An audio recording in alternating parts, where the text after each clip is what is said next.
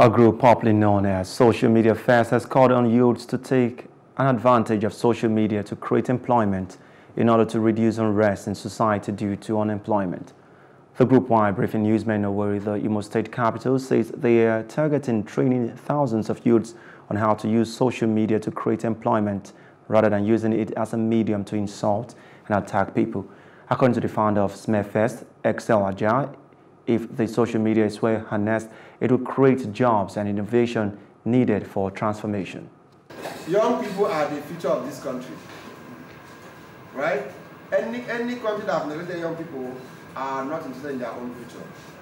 And again, if you know that, if you, if you are aware that this country as it is, the whole thing that is about happening is because of the fact that young people have risen up to their, their what?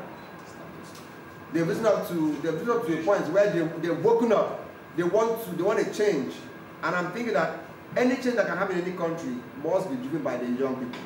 They have the energy, they have the talent, they have the skill set. So if we can harness this set of people, I think Nigeria will be a better place. Hello, hope you enjoyed the news. Please do subscribe to our YouTube channel and don't forget to hit the notification button so you get notified about fresh news updates.